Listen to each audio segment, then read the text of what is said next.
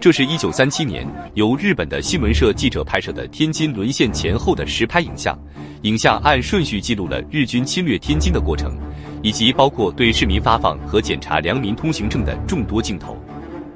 一九三七年七月二十七日，日军占领了天津的所有火车站，切断了平津的铁路交通，日租界已开始战争戒严，大战在即。与此同时，中国驻天津二十九军第三十八师副师长李文田等遂于二十九日凌晨开始主动对日发起进攻，目标是攻占天津东站和总站，袭击东橘子飞机场和海光寺日军兵营及日租界。中国官兵在猛烈的炮火下奋勇拼杀，日军不知急调援军，并在拂晓开始派飞机对中国军队驻地和重点建筑展开大轰炸。而中国军队在日军飞机轰炸下连续奋战十数个小时，在面临日军援军合围且无援军之下，只得撤出市区，转战到静海马场一带继续抗战。但仍有中国军队留在市区打巷战。此时天津虽已沦陷，但机巷之中仍不断有零星交战。日军开始在市内戒严，并展开大扫荡。这是被日军炸毁的天津市政府。此外，日军重点轰炸的地点还有保安队总部和北宁公园，以及警察总部和电话局。此外，邮务总局周围和南开大学都遭到了日军的疯狂轰炸。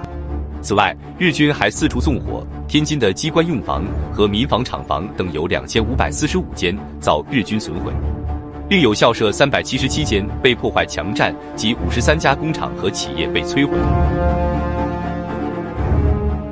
日军占领天津后，在市区街面遍布岗哨，并强制全城遍插日本旗。据报道，当时天津一位五十多岁的老汉，在日寇侵占天津时，三儿子因拒绝挂日本太阳旗被枪杀，其妻也被日军奸污致死。老汉跛足女儿四宝同样被奸污。